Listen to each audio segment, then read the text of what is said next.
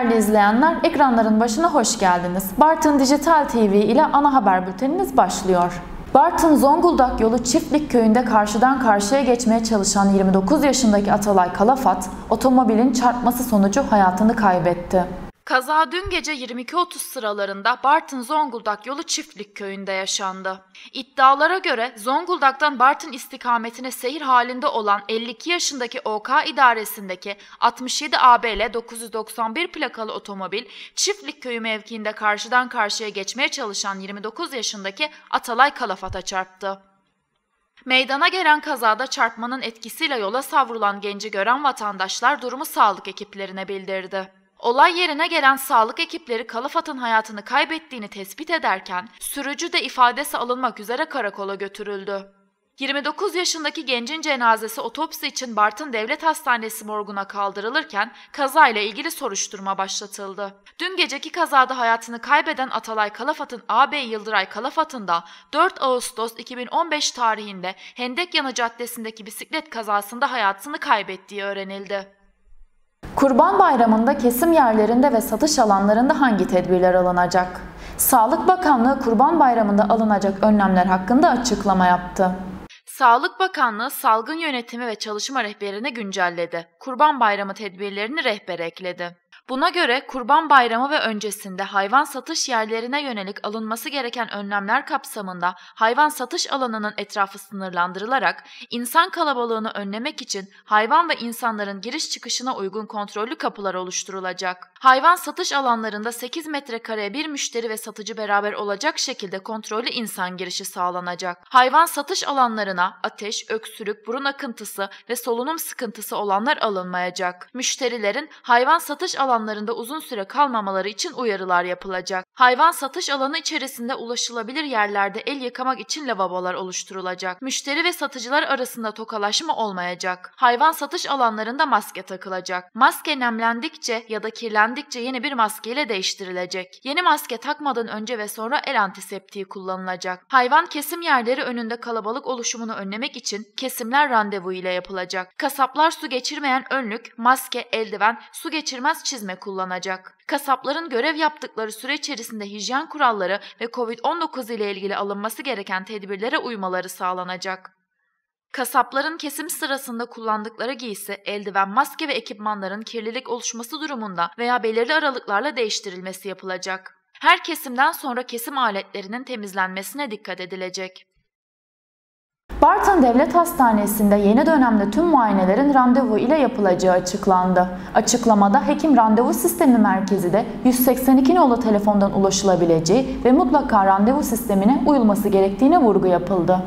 Bartın Devlet Hastanesi'nden COVID-19 pandemisi nedeniyle Sağlık Bakanlığı'nın yeni normalleşme rehberine istinaden yapılan açıklamada, COVID-19 tedbirleri kapsamında vatandaşların ve personelin sağlığını korumak amacıyla poliklinik muayenelerinin merkezi hekim randevu sistemi üzerinden alınacak randevulara göre yapılacağı kaydedildi. Hastaneye başvuruların acil durumlar hariç randevulu olması gerektiği belirtilen açıklamada vatandaşların hastanede geçirdikleri süreyi de mümkün olduğunca kısa tutmaları istendi. Yapılan Yapılan açıklamada polikliniklerimiz 9 ila 16 saatleri arasında hizmet vermektedir. Hastanemiz poliklinikleri sadece merkezi hekim randevu sistemi üzerinden hasta kabul etmektedir. Hastanemizin tüm alanlarında maske kullanımı ve sosyal mesafeye uyulması zorunludur. Pandemi süresinde hastalarımız randevu saatine 20 dakika kala içeriye alınacaktır. Zorunlu bir durum olmadıkça poliklinik muayenelerine refakatçi kabul edilmeyecektir. Hastanemizin girişlerinde ateş ölçümü yapılarak ateşi yüksek olan hastalar COVID-19 polikliniklerine yönlendirilecektir. MHRS randevusu olan hastalar hasta kayıt bankosundan onaya gerek olmadan poliklinik muayenesi olacaktır denildi. CHP Bartın İl Başkanı Selim Karakaş, son valiler kararnamesinde Sinan Güner'in yerini korumasına Bartın'da devam eden projelerin tamamlanması açısından bir avantaj olarak gördüğünü söyledi. Karakaş Koordinasyon Kurulu toplantılarına çağrılmamalarına sitem ederken Bartın'da 40 yıldır ırmak ıslah projesinin konuşulduğuna dikkat çekti. Bartın Dijital TV ekranlarında yayınlanan Ahmet Oktay'la Enine Boyuna programının konuğu Cumhuriyet Halk Partisi Bartın İl Başkanı Selim Karakaş oldu. Ahmet Oktay ile vatandaşlardan gelen soruları yanıtlayan CHP İl Başkanı Karakaş, Bartın'a ve gündeme dair önemli açıklamalarda bulundu.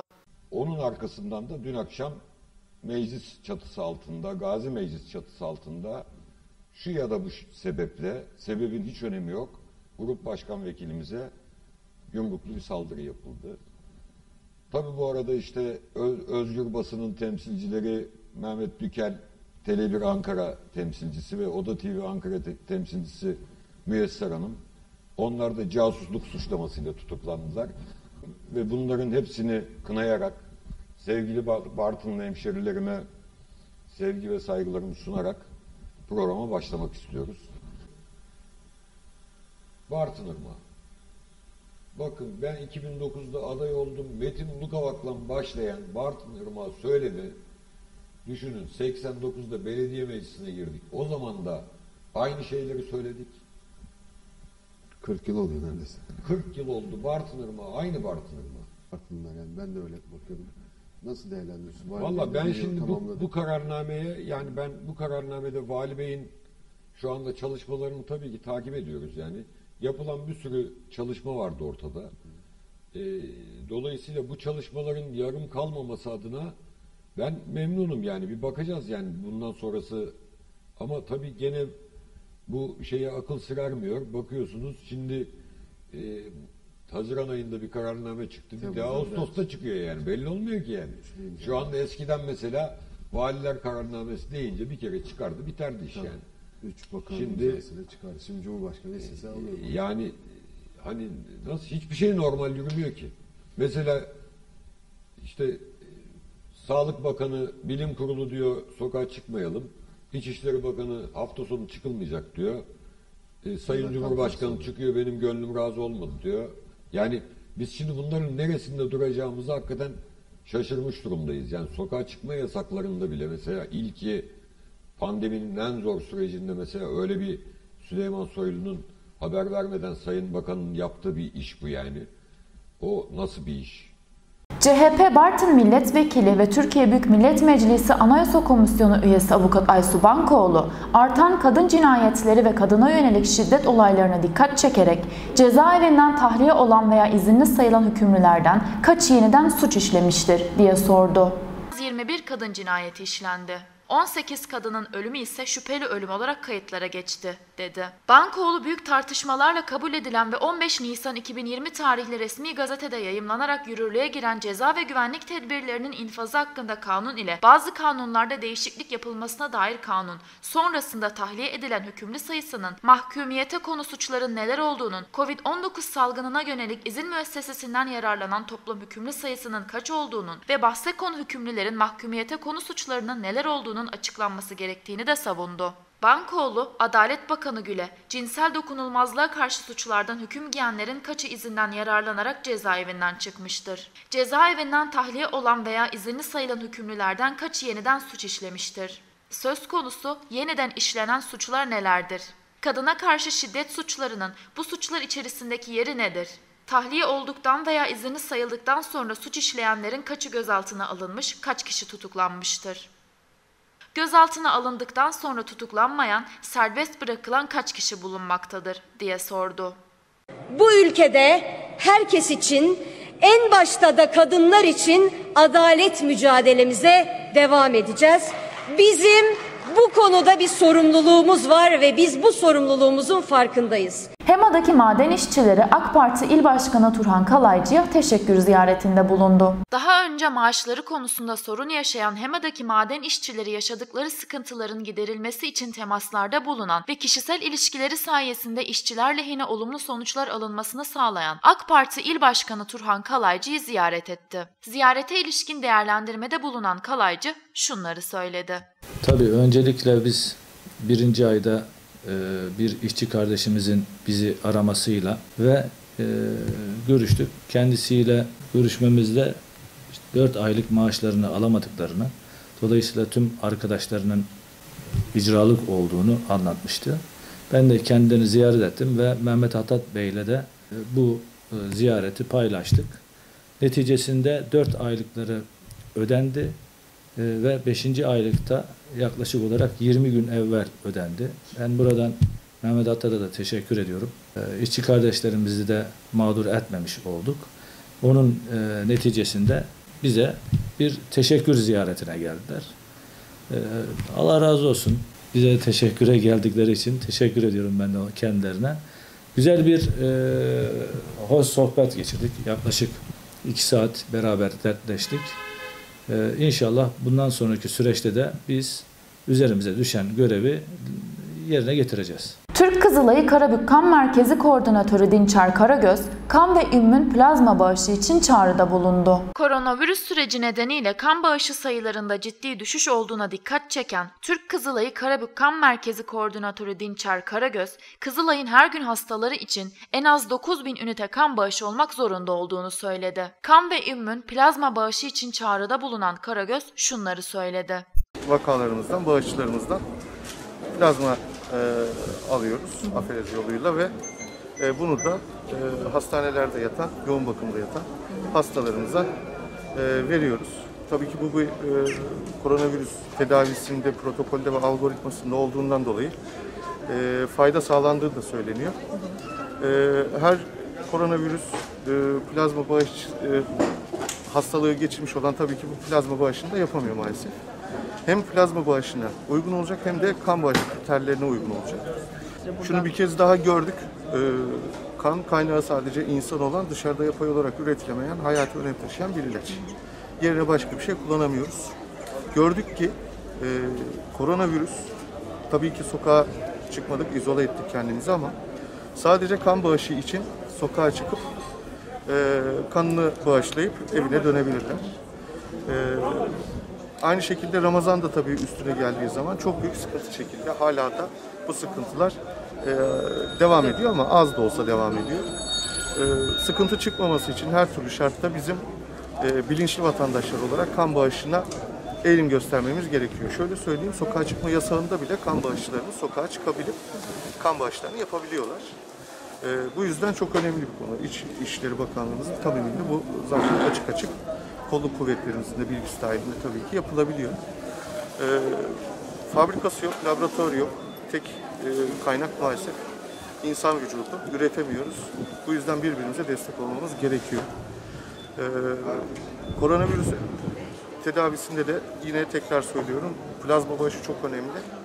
Ee, yine koronavirüs e, hastalığını e, kapmış, iyileşmiş vatandaşlarımız lütfen 168 çağrı merkezimize ve kanver.org sitesinde bulunan e, e, evrakları doldurup başvurularını yapabilirler. Bartın Kemankeşler Geleneksel Okçuluk ve Spor Kulübü Derneği'nce hazırlanan proje ile Bartın, kültür ve macera turizmine açılacak. Batı Karadeniz Kalkınma Ajansı'nın 2020 yılı Bartın turizmine yönelik küçük ölçekli altyapı mali destek programına Bartın Kemankeşler Geleneksel Okçuluk ve Spor Kulübü Derneği'nin Bartın Kent Ormanı'nda Bartın Kültür ve Macera Turizmine hazırlanıyor isimli projesi kabul edildi. Bartın Kemankeşler Geleneksel Okçuluk ve Spor Kulübü Derneği tarafından yürütülecek olan proje ile Bartın Kent Ormanı'nda yapılacak tabiat parkı, macera parkurları, bölgedeki turizm çeşitliliğini arttırarak, doğa sporları konusunda farkındalık oluşturarak aynı zamanda istihdama da katkı sağlayacak.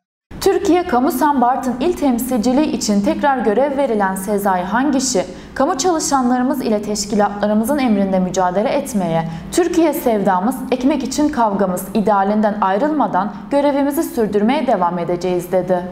Türkiye Kamusen Yönetim Kurulu'nun 0506-2020 tarih ve 257 sayılı kararı ile Türkiye Kamusen Bartın İl Temsilciliğine tekrar Sezai Hangişi görevlendirildi. Göreve iadesiyle ilgili açıklamada bulunan Hangişi, Türkiye Kamusen Genel Merkez Yönetim Kurulu'nun takdiriyle Türkiye Kamusen Bartın İl Temsilcisi olarak tekrar görevlendirildim. Şahsıma olan güvenlerinden dolayı genel başkanlarımıza teşekkür ediyorum. İnşallah görevimizi gerektiği gibi yapmaya ve kamu çalışanlarımız ile teşkilatımızın emrinde mücadele etmeye, Türkiye sevdamız, ekmek için kavgamız, idealinden ayrılmadan görevimizi sürdürmeye devam edeceğiz ifadelerini kullandı. Türkiye İstatistik Kurumu Mart ayı işsizlik rakamlarını açıkladı. Türkiye'de işsizlik oranı Mart'ta geçen yılın Mart ayına göre 0,9 puanlı azalışla %13,2 oldu. Türkiye genelinde 15 ve daha yukarı yaştakilerde işsizlik sayısı 2020 yılı Mart döneminde geçen yılın aynı dönemine göre 573 bin kişi azalarak 3 milyon 971 bin kişi oldu. İşsizlik oranı 0,9 puanlık azalış ile %13,2 seviyesinde gerçekleşti.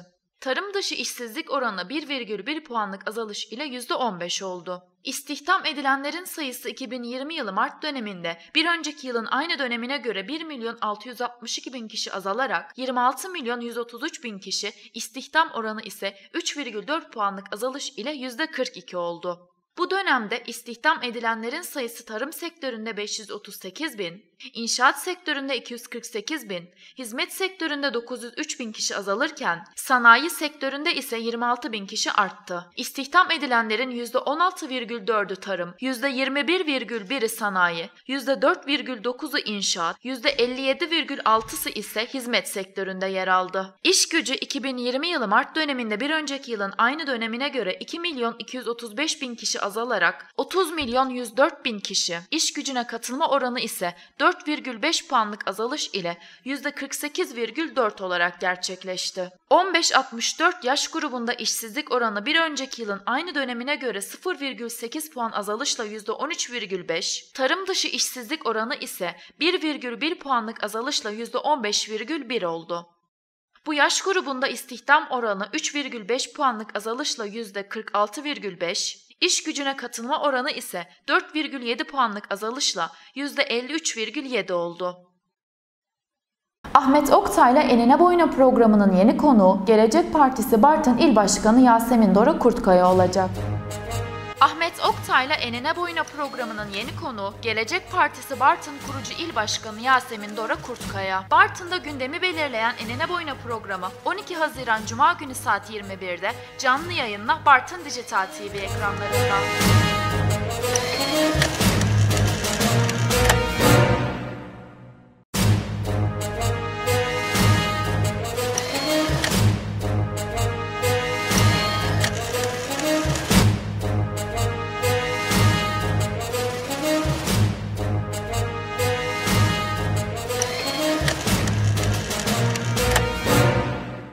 Amasra Spor Başkanı Ertan Cengiz görevinden istifa edeceğini açıkladı.